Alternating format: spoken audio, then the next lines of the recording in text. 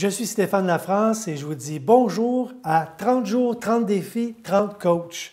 Alors aujourd'hui, nous sommes le 3 avril, puis aujourd'hui, contrairement à ce que je vous ai dit hier, j'ai changé mon fusil d'épaule et je me suis proposé de vous offrir aujourd'hui un petit cours, un atelier sur le cadrage photo.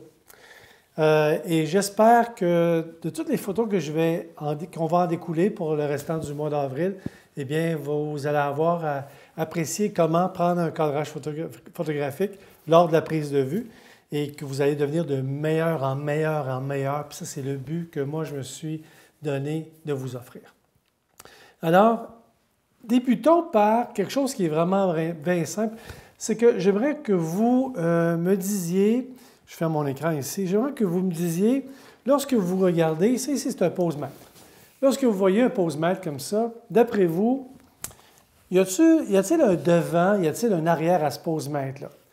C'est une question qu'on pourrait se poser, pose-mètre. Bon. Euh, effectivement, mon devant de pose-mètre est ici, l'arrière du pose-mètre est ici. Tout objet, je vais venir chercher un objectif ici comme ça, tout objet a une devanture et un arrière. Tout objet a une devanture et un arrière. C'est sûr qu'une personne, facile à reconnaître le devant, l'arrière. Le devant est toujours un peu plus beau. Je vous amène en toujours un peu plus beau. Regardez ça. C'est une fleur, c'est une plante. Les oiseaux et les plantes, c'est deux choses que j'ai de la misère à maîtriser au niveau des noms. Je ne vous dirai pas c'est quoi, puis peut-être que des gens dans, l'observation de cette plante-là vont pouvoir me dire de quelle sorte de plante c'est. Mais si je la tourne comme ça, si je la mets à tourner autour de, moi, puis je suis capable d'apprécier qu'est-ce qui est le côté le plus beau de la plante. Ah, selon moi, là, ce que je vous présente ici à l'écran, c'est le côté qui est le plus beau. Mais comment être en mesure de découvrir quel est l'avant et l'arrière de cette plante-là? Voyez-vous que si je la penche un petit peu par en avant, la majorité des branches est sur ce côté-ci, comme le corps humain. Vous voyez, le corps humain, en vieillissant, on penche. Hein, on penche vers l'avant. Une plante, un arbre, c'est la même chose, pour moi. Donc, ça ici, ça va être mon devant de plante, et puis ça ici, ça va être l'arrière de la plante. Pourquoi je vous explique ça aujourd'hui? c'est que ça a une incidence très, très connectée avec le cadrage photographique, le devant et l'arrière. Parce que là, je vais ouvrir mon écran d'ordinateur. Je vais vous présenter la première photo. Photo de mon fils, Michael. Je l'ai recadré la photo pour vous amener plus loin en photographie.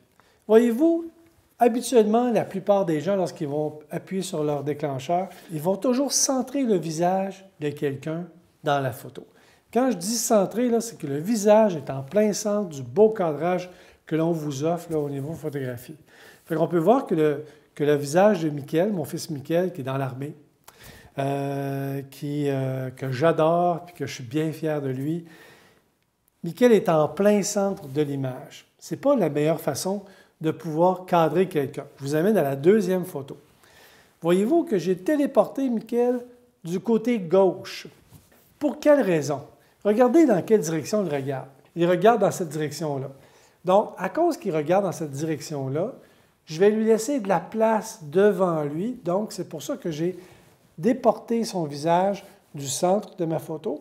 Je l'ai déporté vers la gauche pour que je puisse voir qu'est-ce qu'il regarde. Comprenez un petit peu le principe? Si je me place comme ça ici, pour vous, bien à ce moment-là, juste garder mon focus ici comme ça, bien, habituellement, vous devriez me prendre en photo de cette façon-là.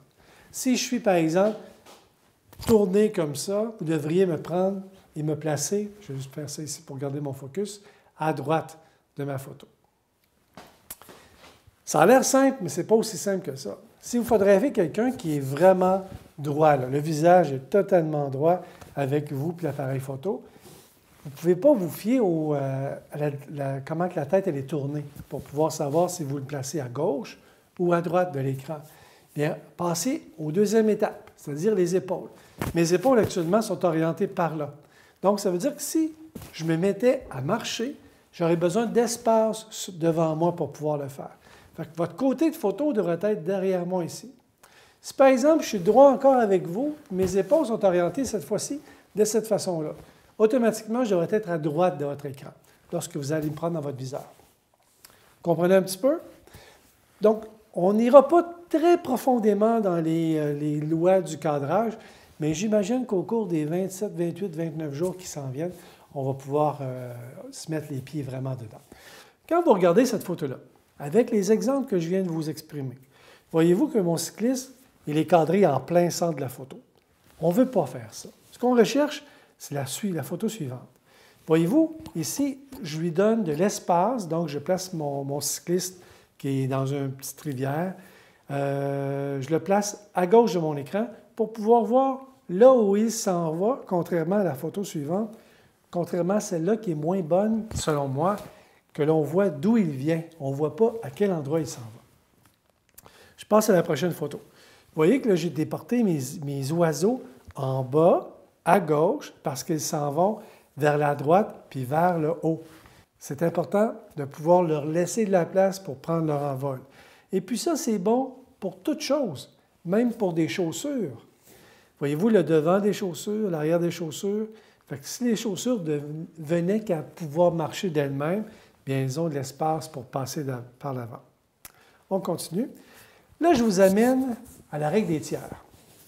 Selon moi, vous savez, euh, lorsqu'on apprend à conduire, on vous apprend à rester entre les deux lignes, par exemple, euh, pour, obtenir votre permis de conduire. Mais avec, euh, avec l'habitude, l'expérience, vous allez découvrir, par exemple, qu'en moto, si vous restez en plein centre de la ligne, bien, vous pourriez être déporté vers l'extérieur. C'est important qu'avec l'expérience, vous devenez de meilleur en meilleur, mais vous avez un guide. Le guide, c'est de rester entre les lignes hein, pour ne pas, pas, percuter la voiture qui s'en vient. Mais avec l'expérience, vous allez savoir vous placer soit un petit peu plus à droite ou un petit peu plus à gauche de la ligne, justement, pour pouvoir enfiler une, courbe, par exemple. En photo, c'est la même chose. Il y a des règles de base, et si on suit ces règles de base-là, on a plus de chances que notre auditoire va pouvoir faire Wow en regardant ma photo. Puis je vous amène, c'est quoi la règle de base? La règle des tiers. Alors imaginez votre viseur que vous allez séparer avec quatre lignes. Deux lignes verticales, deux lignes horizontales. Puis vous pouvez observer que chacune de ces lignes-là représente un tiers. Si j'ai la capacité de mettre un centre d'attraction à l'encontre d'une ligne verticale et d'une ligne horizontale, eh bien, je booste un petit peu au niveau agrément de, à regarder cette photo-là. Donc, la règle des tiers.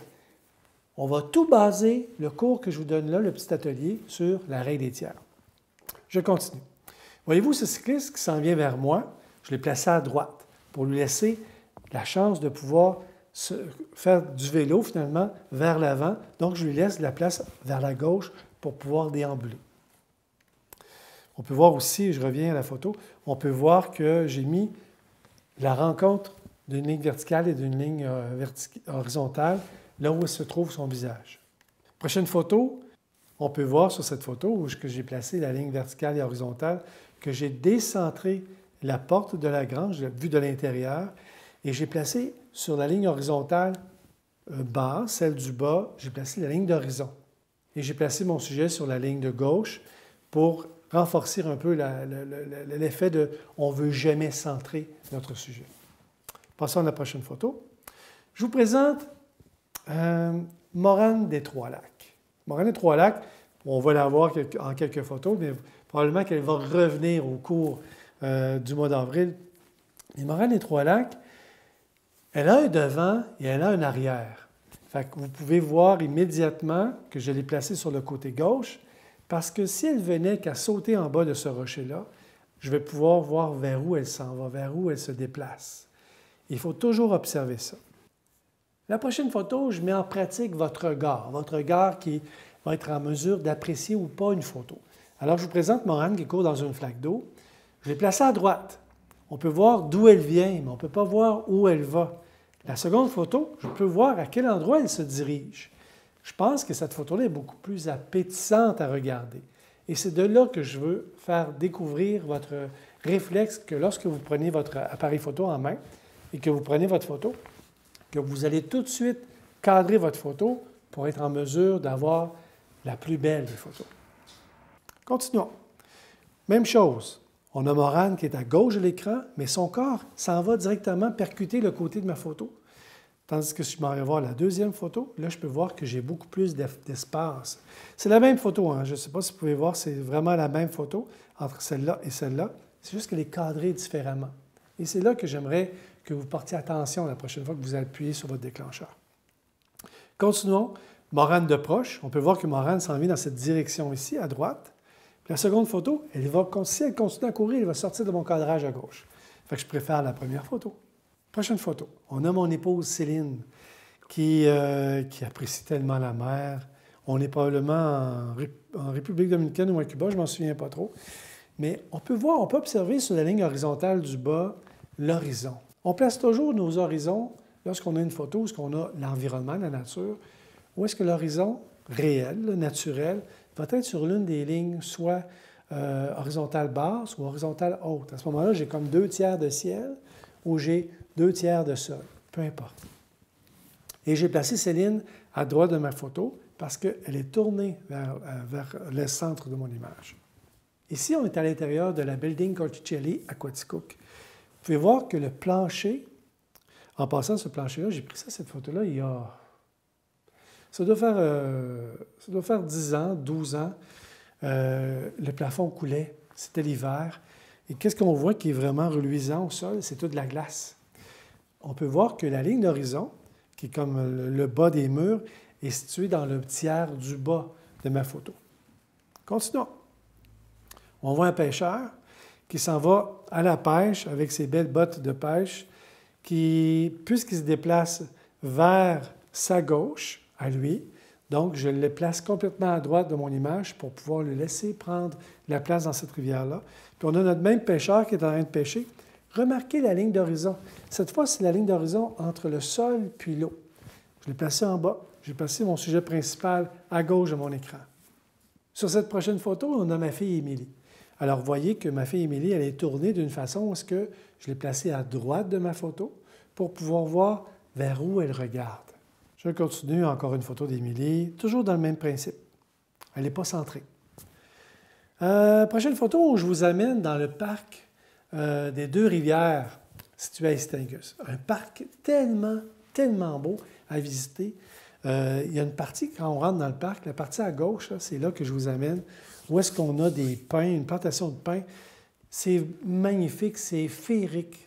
Sur cette photo, on peut voir qu'il y a une ligne d'horizon, hein, le sol qui est placé en bas. On peut voir Morane qui est encore là, qui est située à gauche, parce que si elle, devait que partir à courir, bien, je vais avoir de la place pour la libérer. Prochaine photo, on a Morane qui est dans, aussi simplement que l'arrière de mon camion. Puis vous voyez que je n'ai pas centré Morane, je l'ai placé à droite parce que son regard, sa tête, elle était déportée vers mon centre de l'image. Et puis ça, vous allez voir que ça va devenir instinctif. Si vous pratiquez souvent la photographie, pour devenir meilleur, évidemment, vous allez voir qu'en appuyant sur votre viseur, peut-être que vous allez avoir une petite démarche qui va être segmentée en deux shots, soit faire la mise au point sur votre sujet, ensuite recadrer avant d'appuyer complètement sur votre déclencheur pour prendre votre photo. Mais ça, c'est un sujet qu'on va parler un peu plus tard. Je continue. Ici, on peut voir que la ligne d'horizon, cette fois, elle est en haut sur euh, la, ligne horizontale supérieure et on a le mouvement de mon oiseau. J'ai goût de dire que c'est un oiseau euh, à grande aile. Je ne sais pas. Je suis zéro en ornithologie, mais on peut voir que cette photo-là, elle est, elle est bien balancée parce que je laisse la place à mon oiseau pour pouvoir euh, voler. Je continue. Je suis rendu un arbre, un tronc d'arbre, aussi simple que ça, toujours dans la forêt euh, du parc des deux rivières situé à Estingus. Une photo comme ça, ça a l'air bien banal, mais elle est très belle. Elle est appétissante à regarder.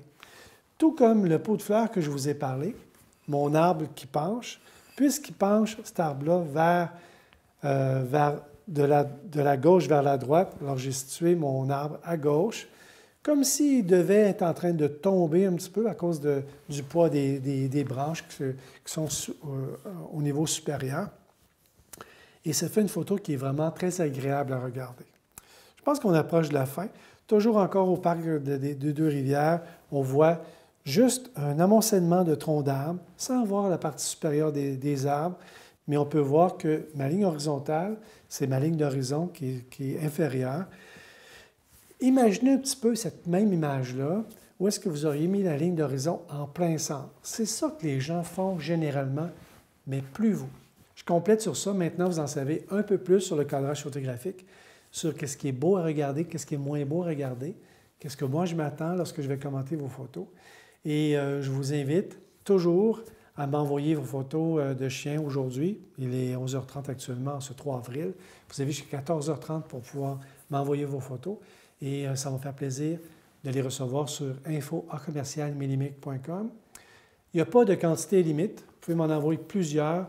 Je vais, moi, me noter au niveau du temps pour pouvoir pas prendre toute ma journée pour commenter vos photos. Mais je vous assure que je vais toutes les montrer à l'écran, toutes les photos que je vais avoir reçues. Sur ce, ben, je vous dis bon 30 euh, jours, 30 défis, 30 coachs. Et puis, si vous continuez à me suivre, ça va me faire tellement plaisir de vous avoir demain lorsqu'on va faire la révision et les commentaires des photos de nos chiens. Sur ce, bon 3 avril, bon COVID. À bientôt.